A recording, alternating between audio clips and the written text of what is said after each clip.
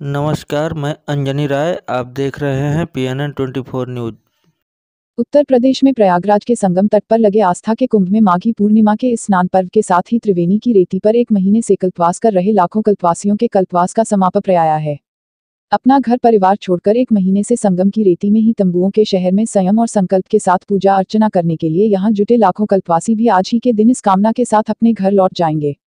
जहाँ देश की कोने कोने से आए श्रद्धालु त्रिवेणी के पावन जल में डुबकी लगा रहे हैं तो वही 3,200 एकड़ में बसे इन तंबुओं के अंदर एक महीने से संगम की रेती पर रह रहे कल्पवासी भी आज अपनी आखिरी पूजा करेंगे।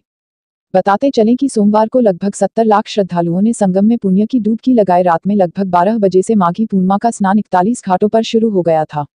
सभी मजिस्ट्रेट और पुलिस बल की तैनात है। मजिस्ट्रेट को निर्देश दिए गए हैं वे आवश्यकतानुसार अतिरिक्त फोर्स भी ले सकते हैं। सभी जगह निगरानी की जा रही है। पूरी सुरक्षा व्यवस्था सुदृढ़ रखी गई है। पूरी टीम सतर्क है। मेले में स्वच्छता और शौचालय पर विशेष ध्यान दिया गया है।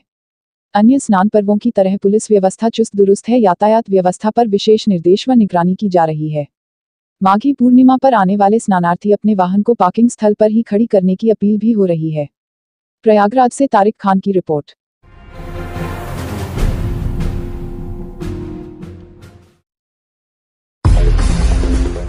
बलिया जनपद के बिलथरा रोड तहसील अंतर्गत महरी गाँव में बुद्ध चेतना अंबेडकर संघर्ष समिति के सौजन्य से संत रविदास की जयंती धूमधाम से मनाई गई। इस दौरान गाँव के युवकों ने संत रविदास जी की मूर्ति के साथ जुलूस निकालकर पूरे गाँव का भ्रमण किया।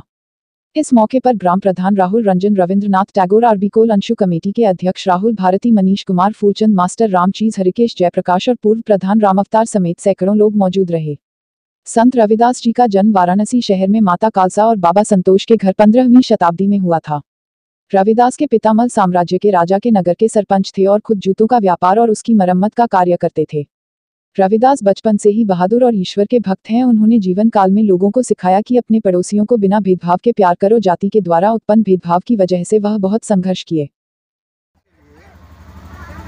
जात पात छुआछूत का जो व्यवस्था था, इसको खत्म करने के लिए इन्होंने आंदोलन चलाया इस आंदोलन में जो है पूरे देश के जितने दलित समाज थे पिछड़े समाज थे सारे के सारे लोग जो है एकत्रित हुए और छुआछूत की भेदभाव को जो है मिटाने का कार्य मन चंगा इनका कथन था कि मन चंगा तो कठवती में गंगा। यानी इन्होंने धर्म पे भी प्रहार करके इन्होंने कहा कि जिसके हृदय जिसका हृदय चंगा है कोई ज़रूरी नहीं है कि मानो हम मंदिर में जा कर के ही हम पूजा करेंगे तभी हमारा जो है उद्धार होगा।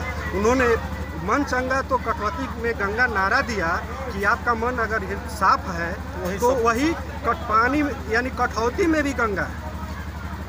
ये बताइए कब से आप लोग रविदास जी का जयंती मना रहे हैं? वैसे तो हम लोग बहुत बचपन से हमारे पूर्वजों ने भी मनाया।